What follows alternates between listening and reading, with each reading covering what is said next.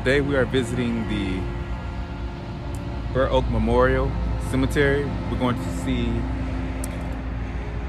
two well-known individuals.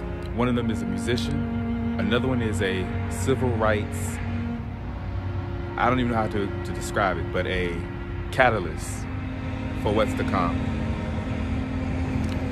So I'm just gonna pay my respects. This bitter earth.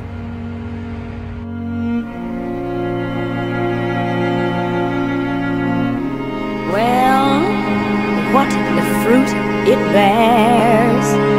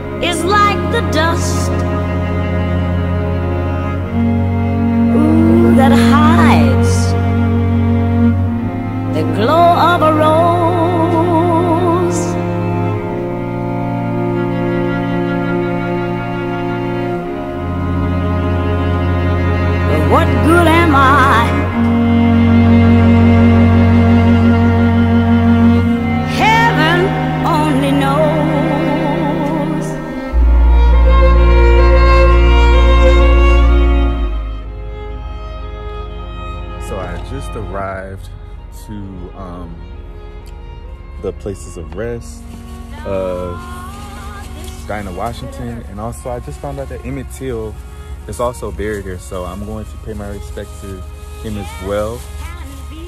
And um, the way to find these graves is a little, it's a little confusing. Like I'm still confused. Uh, I have to show you what I mean when I say I'm a little confused. Gotta watch out because it's bird poop stuff on the ground. But it's a little bit confusing. So I know Emmett Till, from what I read online, it said that he's at Maplewood. That's right. He's at plot 200 in this area. But I'm here where this dot is at. Does that mean somewhere over in this area? So I'm a little bit confused. Just a little bit. Um, let me look at this map right. Okay, so if I'm standing right here,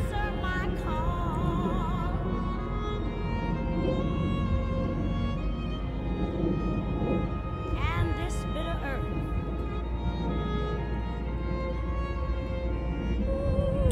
it's a little bit confusing.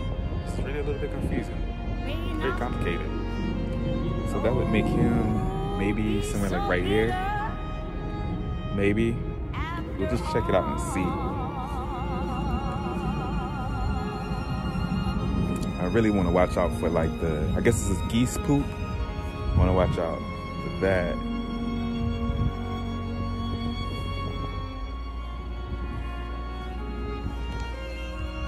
Okay, so I just walked all the way from where my car is at to this side. And it's making a little bit more sense because geometry and the layout of the curve. I guess that sign was hanging upside down on that side. So I guess it's probably somewhere over in this area right here. I'm assuming. But this is really throwing people off. The you are here part. This must mean I am in the street. I'm assuming.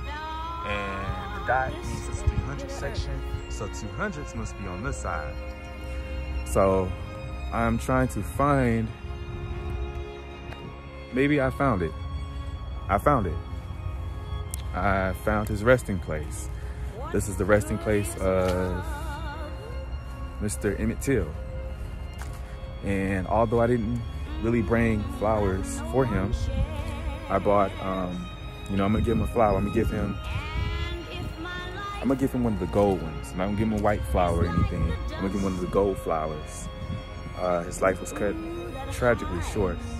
And one of the things that really scared me the most is, you know, that's his grave right there, but just traveling, like, you guys know I cross country drive all the time.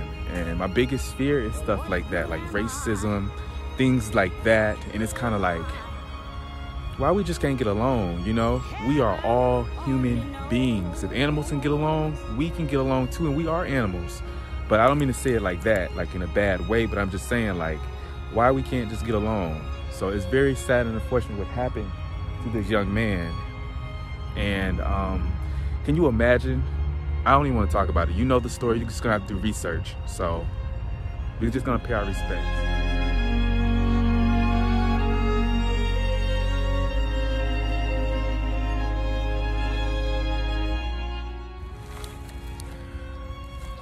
So I'm gonna take this gold poinsettia and I'm going to place it inside of the, I believe that's called a, is that an urn? I'm not really sure, so I'm gonna place it.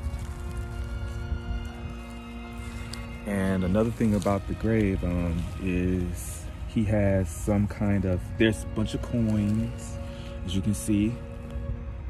Someone also left a key um, the time he was born, July the 25th, 1941. When he died, it was August the 28th, 1955. And I believe this is a picture. Um, I don't really, I didn't really want to touch it, but I'm going to. Oh, can you open it? And you can also see his picture in there. So that's his picture. Um, it's just so much emotion that just comes from actually, you know, seeing this. So I'm just gonna have a moment of silence and I'm just going to think and just, just ponder. I'm just gonna have a moment of silence.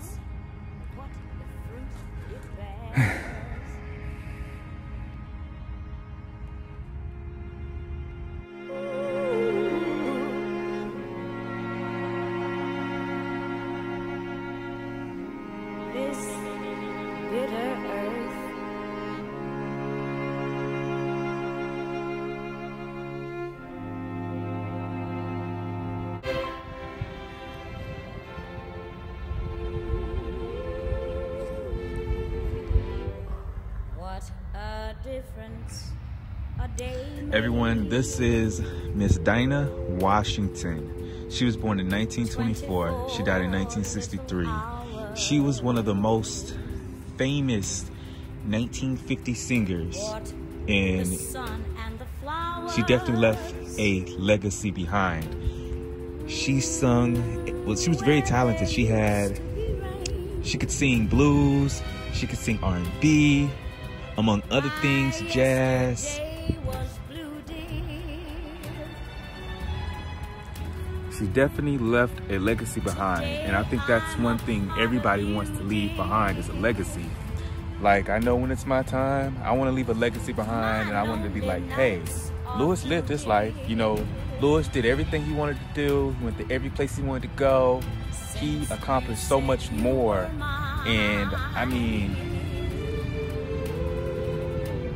I'm just very thankful. You know, that I get a chance to do things that some people don't get a chance to do. Like, I'm good at traveling, I'm good at, you know, building things and making things. I'm very creative. So when it's my time, I want to be known for that. And, you know, my legacy, I want it to live on, you know? So I'm very grateful. I'm very thankful. And I, I definitely enjoy her music. Music is, to me, it takes me to a place. It's, it gives me that that classic in my mind, that classic feeling and that classic music, song. You really have to listen to it, and it'll take you someplace. And it always takes you someplace. It's like the music you'd hear in like movies from like the 1950s, like at a nightclub or something, where you're just dancing with someone, and know. So I'm going to put these flowers on the grave.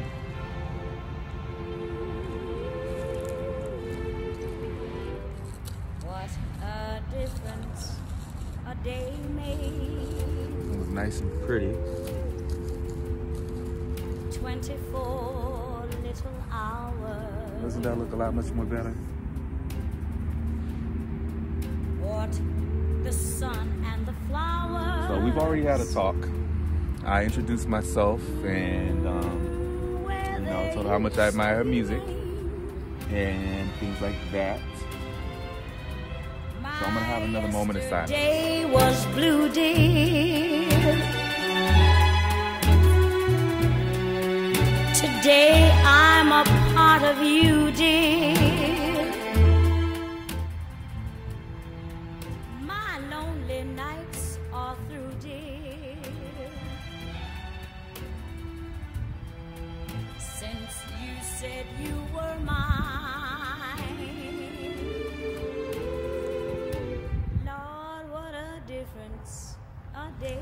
So now we're just gonna get back on the road. We got a few more stops. Thinking about going to Chicago.